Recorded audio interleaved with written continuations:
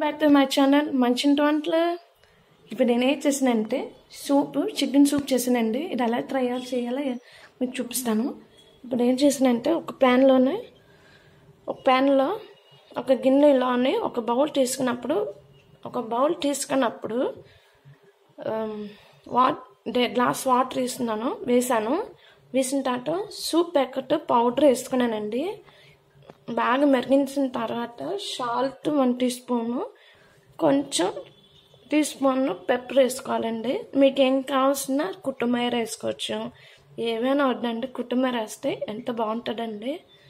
ఇంట్లో ఒకసారి ట్రై చేయండి. నేను ఏం చేసానంటే ఒక ఒక గిన్నెలోనే వాటర్ వేసుకున్నానండి. వాటర్ వేసుకున్న తర్వాత సూప్ పౌడర్ వేసుకున్నానండి. దాని తర్వాత సాల్ట్ పప్పు పౌడర్ వేసుకున్నాను బాగా మరిగించిన తర్వాత చిక్కలు రావాలండి. చూడండి చిక్కలు రాకపోతే బాగుంటాయండి. పలుచగా చూసారా? ఇంత పలుచగా బాగుంటుంది కదా? ఇట్లా ట్రై చేయండి. సబ్స్క్రైబ్ లేకండి లైక్ అండి షేర్ చేయండి. మనిషి దాంట్లో కామెంట్ పెట్టండి. Bye bye.